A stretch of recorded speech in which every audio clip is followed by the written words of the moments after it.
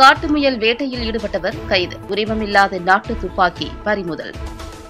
திருவண்ணாமலை மாவட்டம் போலூர் அடுத்த சந்தவாசல் காப்புக்காடு பகுதியில் புனல்குட்டை வழி வீட் சரகத்தில் வனத்துறையினர் தீவிர கண்காணிப்பில் ஈடுபட்டனர். அப்போது அந்த வழியாக மோட்டார் சைக்கிளில் வந்த கன்னியபடத்தையைச் சேர்ந்த மணி மகன் சரத்குமார் என்பவரை பிடித்து விசாரணை நடத்தினர்.